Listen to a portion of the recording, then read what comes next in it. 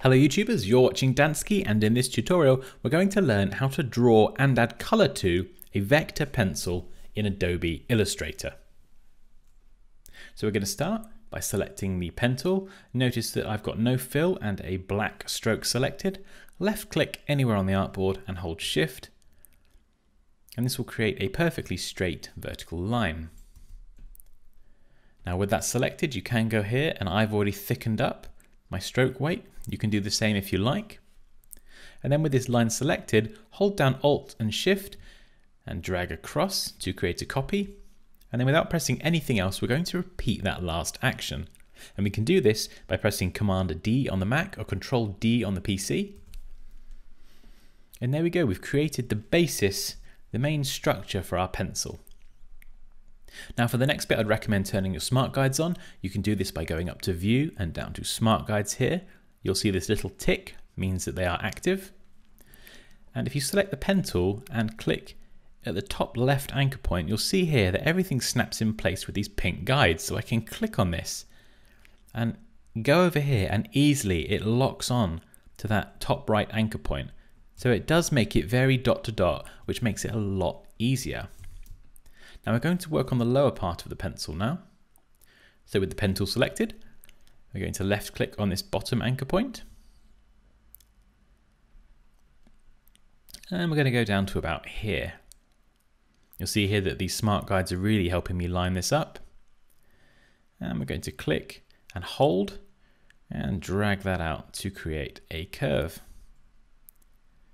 Now here it automatically wants to continue that curve, but we don't want that in that case. So just hold down the Alt key and then left click on that anchor point and you'll see that it will cut that one short. It will try and continue with a, another type of line, a straight line. Just simply press the shortcut command V for the selection tool and it will deselect that. And now we can select with our direct selection tool, this anchor point here, and holding shift we can drag that one down and you'll see there it nicely snaps in place with those smart guides.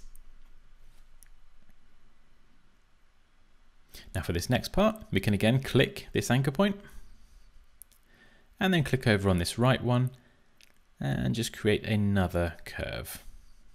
So very similar to the one we have on the left. Now with all this selected, you can again either press V or you can go to select and deselect.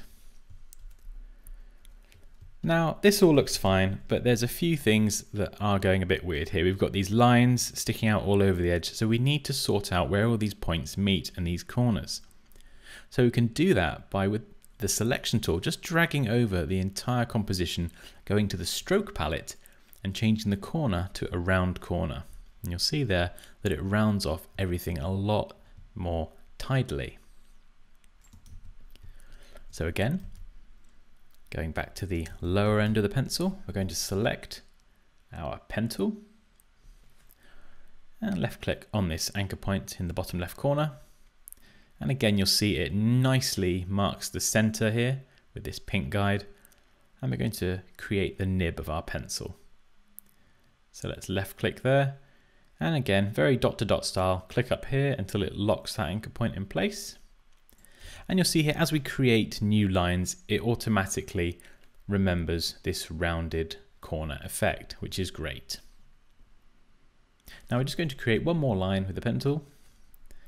And we're going to go from left, holding shift to keep it perfectly straight to right.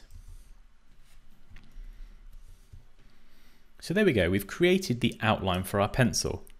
Now what I would always recommend doing when working on something like this is keeping a copy of what we've created here because at the moment these lines are all editable. So if at a later date you did want to adjust the stroke, you could easily go in and adjust the stroke weight. So it's really good to have that flexibility.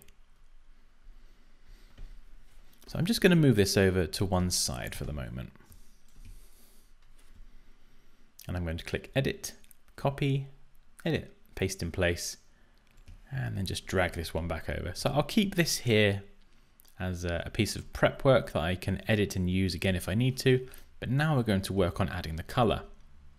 So I'm happy with the stroke width, that's all fine. With this all selected, I'm going to go to Object, Expand, make sure that Fill and Stroke are selected and click OK. Now if we go into preview mode, that's Command Y on the Mac or Control Y on the PC, you'll see that we've got a lot of different shapes here and it's all a bit messy. So we just want to tidy this up a bit before we start adding color. So if we select all our individual shapes and go to the Pathfinder palette, clicking the top left option, which is Unite, we'll turn this all into one shape. So now that we've got this as one shape, what we can do is select this and go over here, left click and hold if you don't see this icon. You may see the shape builder tool by default, but we want the live paint bucket tool. So now with this selected, you can click this and we're just going to go and undo that there because we didn't want to fill that with black, but now this is a live paint group. And what this means is that as long as all these anchor points are complete paths and everything joins up, we can paint, literally paint in the gaps here. So I've got some colors predefined for my pencil that I'm going to use to color them in. I'm just going to double click them and open them if you do want to follow along with these same colors for your version of this tutorial. So we've got a yellow here. We've got a light beigey grey colour. We've got a dark blue. And we've got a slightly lighter blue. And if you want to copy these colours, just simply add in these RGB values to your colour swatch. So we're going to start by selecting the entire pencil and we're going to make this a dark blue. Then we're going to select or deselect the shape and with the live paint tool selected I'm going to click the yellow this usually comes up if you've not got a shape selected so it's just telling you that you need to select the shape first then click on the live paint bucket then you can click your color and with the shape already selected, now you can start adding to it.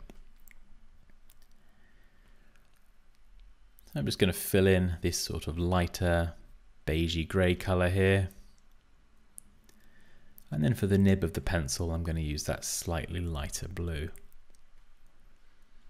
And as you'll notice, this is all one shape as well, so we can move this around freely. Now with something like this, Again, I quite like to keep a copy of this where it's perfectly straight, so I'll pop that over there and I'll keep these two together on the side just in case I do wish to edit them at a later date. Now you can select this whole shape, go up to Object and Expand, leave all of these boxes selected and click OK. And now this is the final version of our shape.